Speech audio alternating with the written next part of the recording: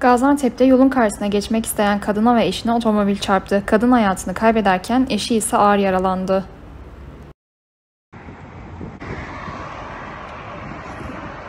...55-90 konuyu takip edin.